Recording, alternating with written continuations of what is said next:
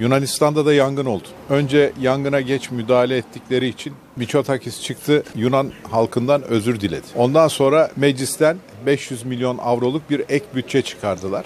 O da yetmedi. Yunan Hava Kuvvetleri Komutanı yangınla ilgili olarak helikopterleri zamanında hazır edemediği için istifa etti. Bir de bizde olan bir tane bakın. Bizde büyük bir pişkinlikle herkes yerli yerinde oturuyor. Buradan bir kere daha söylüyorum. Bu yangına zamanında müdahale edilmediği için Erdoğan, Erdoğan şahsım hükümeti milletten özür dilemelidir.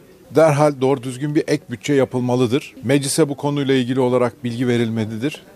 Ve son olarak yangına geç müdahale etmenin sorumluları kimse hepsi istifa etmelidir.